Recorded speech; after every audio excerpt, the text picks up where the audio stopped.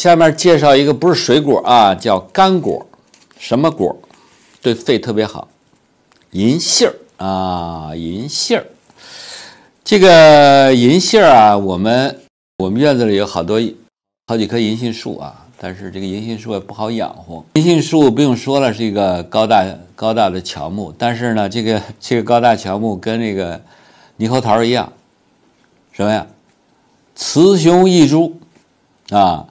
所以一般种银杏都是一公一母，是吧？然后有公有母，这个母银杏上才能结这个果实，是吧？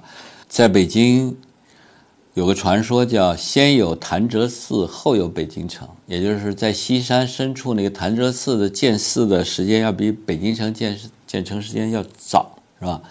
在潭柘寺呢，就有两棵特别大的银杏树，是吧？银杏树呢，又叫公孙树啊，因为它生长周期特别慢，是吧？然后可能爷爷种下来到孙子那儿，你才能尝到它这个果实啊，所以又又叫公孙树。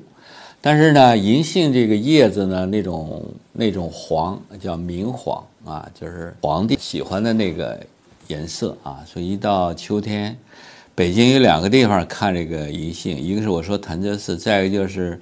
钓鱼台国宾馆外面有个银杏大道，是吧？那秋天，金黄色的银杏叶儿一落，是吧？真是很美，是吧？那么银杏的这个，我们吃它这个银杏呢，不是它的果肉，是它的种子，是吧？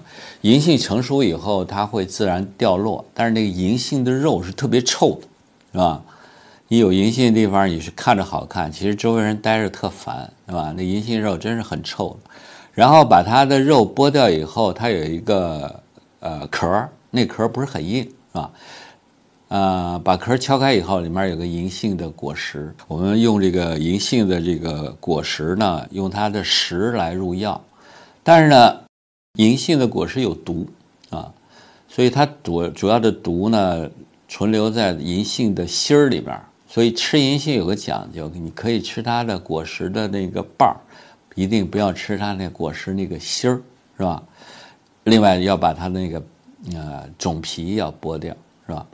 这个我们中华大地吃银杏的这个习惯好像不太存留的不太多了，反倒是日本人把这个吃银杏的习惯给保留下来了，是吧？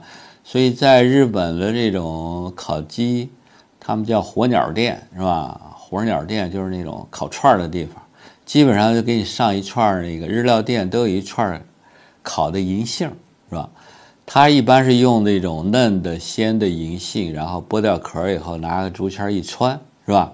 还带着它那薄薄的一个种皮，给你烤熟了就拿去让你吃。